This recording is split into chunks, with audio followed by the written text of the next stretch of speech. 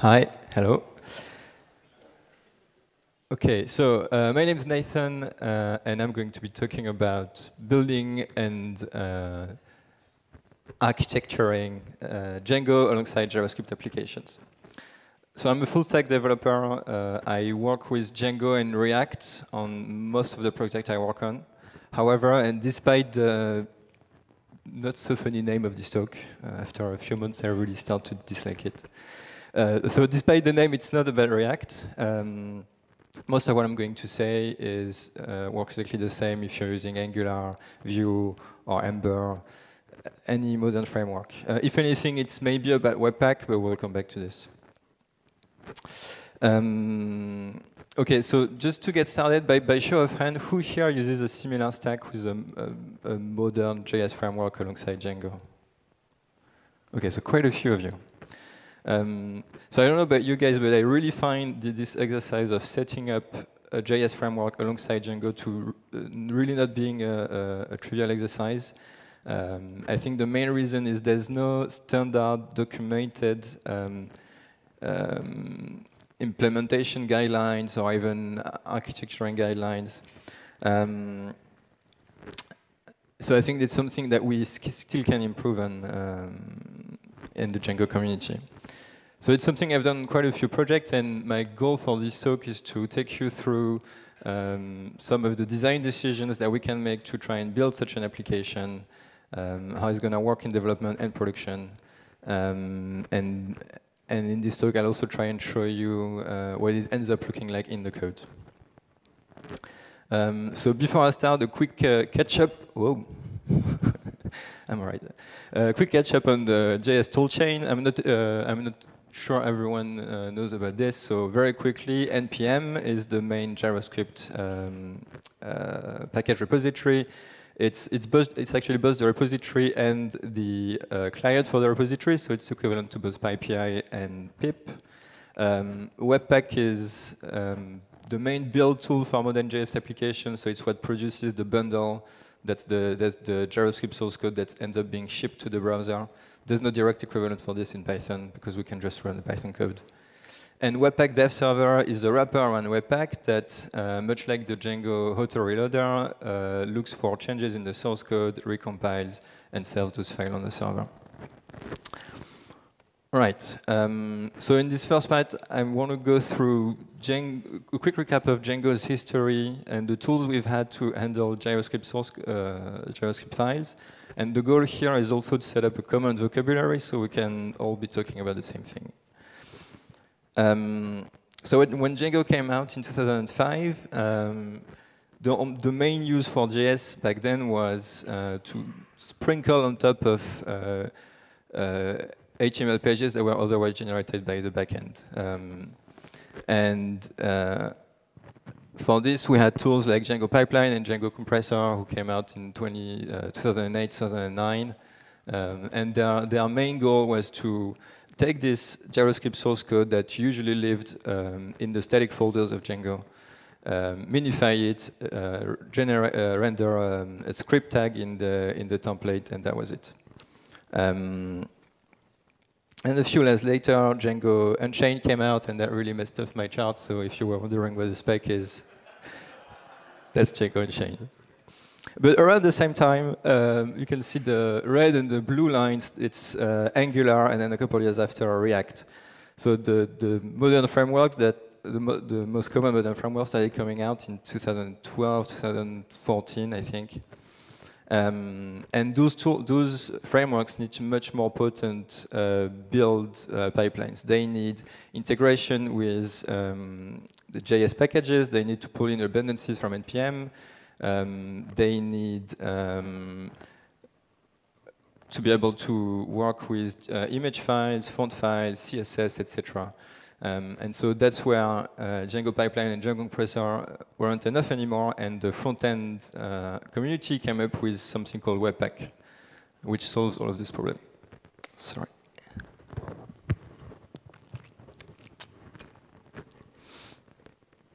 Um, and so a few years later, in 2015, Django Webpack Loader came out, and it's the, the first attempt at integrating um, Webpack and uh, Django together. Um, um, so the goal here was to really separate the responsibilities of building the JavaScript for um, for the browser and, and serving it. Before that, uh, Django Pipeline, Django Compressor, and equivalent were doing all of this. From now on, um, we would leave Webpack, Webpack in charge of building this bundle and, and Django in charge of just generating a script tag that links to it. And so it transformed the development environment from a single process where Django is in charge of serving and generating the HTML and the JS to a dual environment where we have both Webpack and Django running. Um, and Django would still be in charge of generating uh, the HTML, but then point to Webpack, which would serve the JS. Um, so something else I want to mention in this section uh, is Aymeric Augustin's blog article series from last year, um, because they really helped me out and me on formulating um, a lot of what I've been thinking about. Um, so his blog article is about a series of uh, a formalization of the requirements for building a Django or JavaScript application. So it's very much linked to what I'm talking about.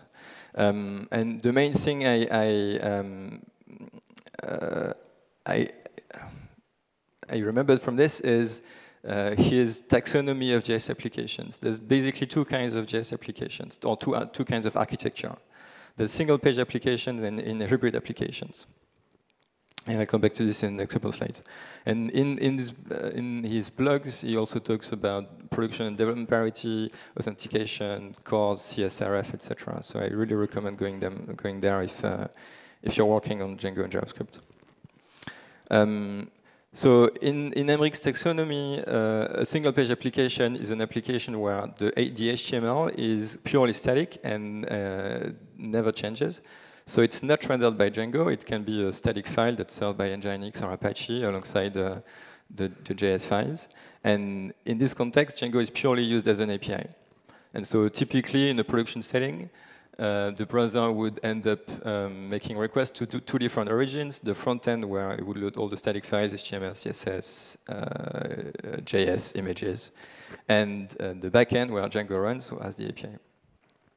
And the counterpart is the hybrid application where um, the HTML is served by Django and, and potentially as a, as a template rendered by the Django templating engine. And so you end up with an application running where the DOM is a mix of the HTML that was generated by Django and whatever the JavaScript uh, framework, uh, whatever changes it, brought to this DOM. Um, mean, typically in the in the hybrid application, the, the, the browser ends up only talking to one um, origin, where it would first load the HTML, which would be rendered for it, and then load the JS and API calls, of course. Um, so both infrastructures have pros and cons. There's no uh, silver bullet, of course. And even, even once you've been able to, to pick between single-page application and hybrid application, depending on what's right for you, there's still a lot of implementation details that will vary between, um, between implementations. Still a lot more of design decisions. Um, so now that's exactly what I want to go through from um, designing, uh, designing a Django and JavaScript architecture together. Um, so before we go and start making random design decisions, uh, it's probably better that we agree on a set of requirements first on what we want the application to be able to achieve. Um, so of course, those requirements will vary a lot between projects, and the example I have here is something that's very typical for the project I work on. Um, but they are, they are by no means, um, they might not apply to your use case. For, for, for example, I think a typical requirement that I don't have is um, around having to having to separate the code base between front end and back end, having to separate also deployment flow between front end and back end. Um, I work in team where everyone is full stack, so that's fine for me. But I know lots of companies out there have different teams for front end and back end, and I think if that was a requirement for you, you would end up with a very different solution. Um, but hopefully, I think the, the, the, reasoning here will apply whatever your use case, and uh, um, you should be able to use this on your own projects. Um, so sorry. My requirements are, I want uh, environment independent builds. So I'll come back to what I mean exactly for each of them in a minute. I want hot reloading in development, and I want development and production parity. So for environment independent build, uh, first what do I mean by build? By build I mean um, whatever code artifact you ship to a server when you deploy. Could be a file archive, uh, a Docker image, um, a binary, a bit uh, unconventional in Python, but or a commit in a, in a Git repository, for example. And why this is some, why this is important to me is because it allows me to do version promotion. When I've had a, a version running in one environment for a while, and I know it, it fixes the problem I intended to solve, then I can take this exact build, this exact set of uh, code, and then send it to a different environment. Uh, this is something that I discovered on Heroku a while back, and it really stuck with me. Um, so yeah, that brings, brings a lot of trust in what I'm about to deploy, and I know I'm not going to break the next environment down the line. So how, how might I achieve this? Um, the, the, the, first, uh, the obvious answer is uh, to not have any environment-specific values hard-coded in, in the code. Uh, and, and the main way to do this is to use environment variables. The, the main, like, the main uh, what I'm talking about this section is very related to the 12-factor app. So if, if you don't know about this, I really recommend you go and read, uh, read the, the 12 pages on 12factor.net. It's, it's very interesting. So environment variables, they're really easy to use in Django. That's not a problem at all in the backend. We can read them anywhere in the code and read them in the settings and then read the settings. Uh, um, so Django is really easy to write in an environment in a abundant way, as long as you have access to environment variables on your server. Um, but in JavaScript, it's a bit of a different story. In JavaScript, it's a bit harder. Uh, typically, uh, the, um, the main bit of config you would need in the JavaScript application is the API endpoint. Where, where am I going to send my request to? For example, in production, I might want to connect to api.example.com over HTTPS, while in development, I'm going to connect to localhost on port 8000 over HTTP. Um, and so, of course, JavaScript doesn't have a concept of environment variable. We can't set environment variables in our uh, users' uh, browsers. Um, so, as far as I can tell, that leaves us with two options. Either we find a way to load the config when the application starts from somewhere. That probably means an API call. And if we're making an API call to what endpoint? It's kind of snake eating its own tail. It's, I, that's probably not going to work. The alternative I can see is to inject the configuration inside of the HTML during rendering in, um, so in Django. So that means that our HTML has to be a Django template, so that means we're using a hybrid application in, in Augustin's taxonomy. Um, and one way you might, uh, what, what, this would translate in, uh, in the template, if this is the template for your JavaScript application, you might want to write a global config variable in JavaScript with the set of, this is an example, but I'm setting, for example, an API endpoint that's actually just a, a context variable in Django templates, and also all the business logic values that are actually coming from the database. Right, okay, so that was environment uh, independence. Um, next, hot reloading in development. Um, so hot reloading is this very powerful um, uh, front-end development feature that's very much like Django, what the Django Freeloader provides. Um, it's based on Webpack Dev Server, and as soon as I make a change in my JavaScript source code, and my front-end, my uh, browser refreshes, and I can see the change immediately in my browser. So it really shortens the feedback loop from writing a code and potentially a bug, and then detecting it. So this feature relies on Webpack Dev Server, as I just said, and there's actually two levels to it. There's live reloading where as soon as I make a change in my source code, then it gets picked up and my browser refreshes. So that means I do see the change in my browser, but I lose all the variables, uh, values, I lose all of my context where I was in the application, etc. So it's a start, but not great.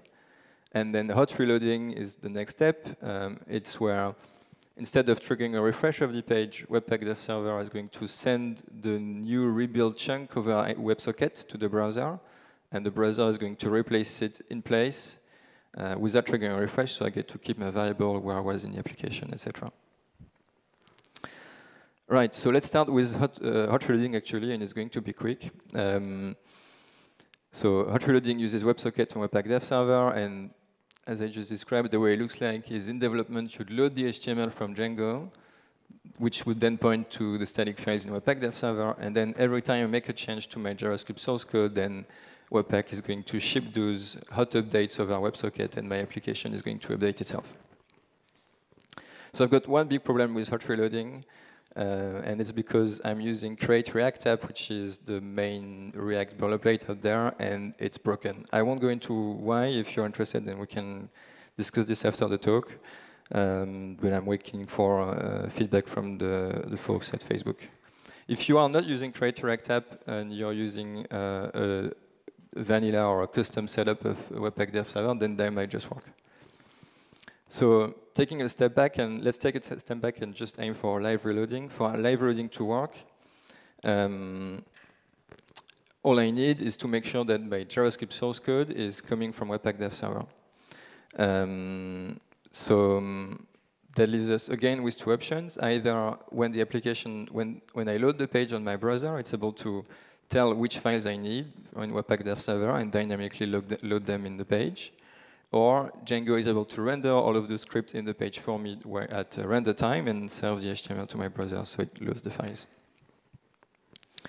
Um, and both of them work, both of them are fine. Um, and to help us decide between those two uh, uh, solutions, one, one thing we could do is look at the third criteria, development and production parity. So what is this going to look like in production? Well, in production, we won't have Webpack Dev Server running, of course. Um, so we will have to use, um, we will have to be able to uh, render script tags with the right URLs in the HTML. Uh, and for, for the development production parity requirement to work, then we should probably pick the same thing in development.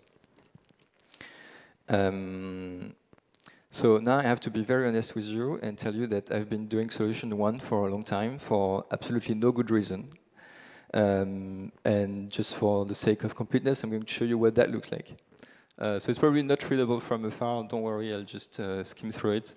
Uh, if you've got good eyes, you can see several if debug, if not debug, etc. Um, so that's very bad for the remote production parity.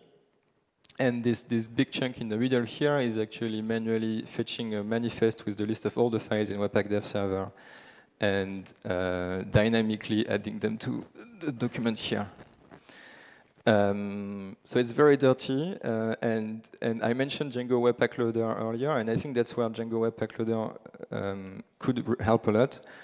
We could transform this and, nice animations, we could replace all of this with just two lines, render bundle for CSS and render bundle for JS. And this would work both in production and in development, removing the need for the if and else's, uh, and also the need for dynamically loading all of this.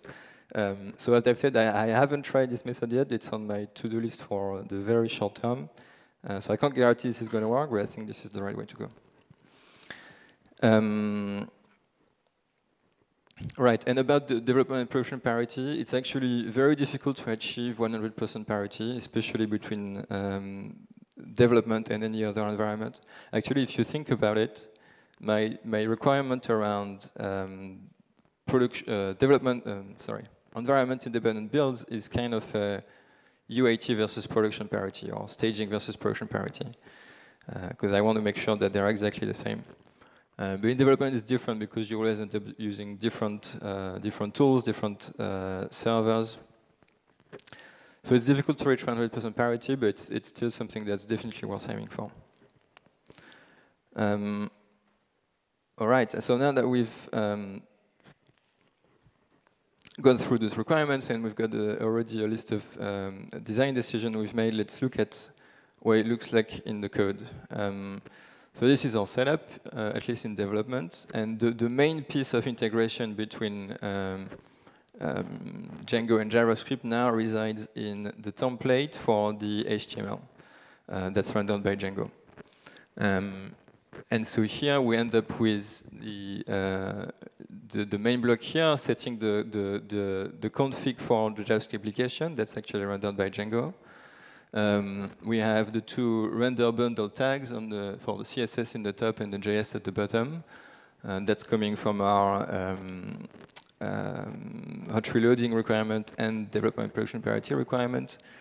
Um, and that's it. So you, this is built for React. So there's a there's a div with ID app, but you could really definitely adapt this to whatever um, uh, framework you're using. And you could actually you could actually build many other things pre pre-built into the HTML and just load the, uh, the JS uh, the JS application in a tiny part of the page. That's also an option here. Because we're using hybrid application, it gives us this flexibility around um, how much content do I want to be generated by Django and how much content do I want to be uh, taken care of by, uh, by, by, JavaScript. Uh, so of course, once we have this template, we need a view to render it. Um, I thought I'd just show this just to show where I set the, where I uh, define the context variable for rendering. I'm, I'm, in this example, I'm reading both from the settings and from uh, uh, models in the database, but you can pull in the information to configure your front-end application for where, wherever that makes sense in your case. Um, and finally, we need to mount this view on a URL, um, which uh, needs to be generic enough so that we're going to set, uh, uh, serve this HTML for every page of our JavaScript application, every URL uh, that's supported by your JavaScript application. Right. And um, in the front end, it's uh, even simpler. In the front end, there's no need to make any change to our JavaScript at least. The, the, the one tiny change that, that we need to make is to make sure that our Webpack configuration is able to uh, output um, a manifest, so a list of all the files that it just outputted last time it ran, so that uh, Django can then read this and, and, and link to all the files in the HTML. So it's this one line here, the, the, the bundle tracker plugin. Um, and finally, I thought I'd show you what my deployment uh, look like. So I use Docker, but if you do something similar, you still have the main steps, which are first building the JavaScript application. So you, you output a, a set of um, um, JavaScript, CSS, images, whatever, and also a manifest file, which contains a list of all of those other files. Then copying this over to a static directory that's uh, controlled by Django, which Django has access to, and then finally running collect static. And from here, um, you know that um, the static files are available to be served, and Django Webpack Loader will know where to get those files from, um, so he can link to them. Um, and that's it. So that's it's um, it's not. By, it's by far not a complete example. There's many other things that we probably would need to go through when designing a Django JavaScript application. Uh, things like uh, authentication, uh, CORS, CSRF, although I wouldn't say that those, those last two are interesting topics, but they're in the list anyway. Uh, SEO, progressive web app support, etc. Um, and this, most of these are actually topics that were covered by uh, Augustin in his, in his uh, article series. So if you're interested in this, I again recommend, highly recommend reading them. Um, so that's it for me. I think in conclusion, I'd, I'd say that um, we can still improve the state of the, the documentation of on how to integrate JavaScript and Django. Um, I don't think that Django is missing any feature to make this work properly. It's more about building the documenting the, the, the, known state of the art for this to work and, and giving examples for both code and, and architecture patterns. Um, right, and I'm also really curious to know how you guys manage your own JavaScript and, and Django applications, so feel free to come and talk to me after. Thanks.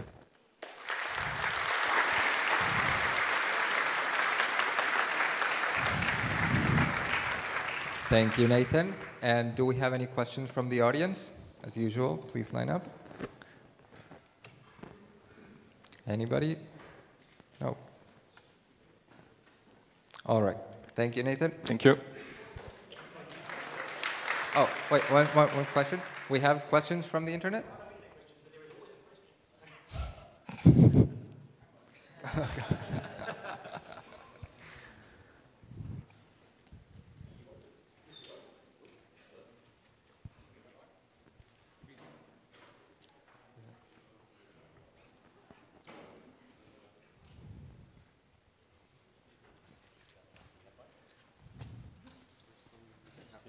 Oh, there we go. Now we got mic.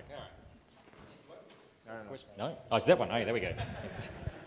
if you open the floor for questions, there's always a question. Um, in your example code there, the, um, where you had the settings being rendered in Django and then the rest being done as hot reloading, Yeah. uh, one of the pieces that's in there is uh, uh, like this list of opening hours or something like that. Do you mean this? Yes, that's the one. Yeah. So you- you've got you have your opening hours being rendered as something from template. Yeah. Um, that's not going to play well with the hot reloading, I would assume. Is there is that uh, it's like an example of something that you maybe want to try and Mm. push through an API, or is there? I'm not, no, I don't see why you wouldn't. So th- this set of variables are. S- do you mean hot reloading or live reloading? Uh, sorry, live reloading. Sorry. Live reloading. So on live reloading, every time I, every time the, the browser is refreshed, then the HTML will be re recompiled and rerun. So those variables will be reset every time, Okay. and Django will re- just re-render the same exact template every time. Right. So I don't think that would be a problem. Okay. But if, and then so on the JavaScript on the hot reloading, um, that so once the, the page renders once, the settings are only ever done on the page reload, but you can modify the JavaScript and then that Yeah. will that won't pick up any changes there. Is that So I don't think it creates problem with this because this variable is never reset; it's always defined globally. right? Um, but it does create problem, um, especially. I think it's especially it's so hot reloading works really well for React components, for example. For ev- everything visual is, is perfectly fine. Um, it works less well when you change a bit of logic somewhere. I couldn't explain you why. Uh, I'm, I'm not an expert by far on, on hot reloading. Okay. But it does have I was- I was wondering if there was any particular guidelines about what you keep in, what you can put in that kind of block. I think I think this is fairly flexible, and I'm, I'm pretty confident that this is not going to be reset by either live reloading or, or hot reloading. Um, you can just see this as the main configuration object for your JavaScript application, and and and put anything you want in there. Sure. Okay. Um, Very quick question. Uh, first of all, I'm not a full stack, just a backend engi- engineer, but uh, our team has some pro- had some problems previously about the uh, Django local uh, um, development server not uh, running over HTTPS. Did, do you have anything to? With HTTPS, Yes, um, you didn't no, have any problems in your React app. No, I'm not sure. Uh, we could, say lots of things about HTTPS. I'm not sure what exactly was your issue. um, we couldn't serve the development server over HTTPS, and uh, React at some point has some problems, maybe uh, cross-site. Yeah. I don't know. Um, in development, I, I don't use HTTPS in development, and this has never been a problem to me. Uh, Webpack Dev Server runs over HTTP. Um, and when once you're in production, the, the Webpack Dev Server doesn't matter anymore because you just output a set of static files that are always going to be served. Um, so I, I personally create an Nginx container for them, and, it, and they are served over HTTPS. So maybe your issue is, could be around um, requesting non-HTTP resources from a page that's uh, served over HTTPS. I know there are limitations in, in browsers around this. Maybe, probably. Thank you. Good luck. All right, that was it for the questions. Thank you, Nathan. Thank you.